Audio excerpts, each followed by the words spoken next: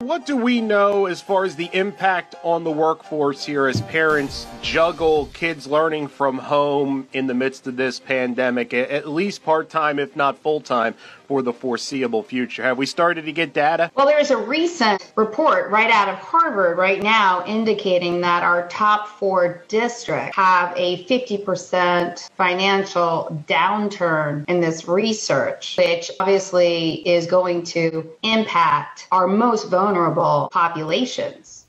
Thanks for watching. Head to YouTube, hit subscribe, and get more parenting and education information as well as the rest of this video.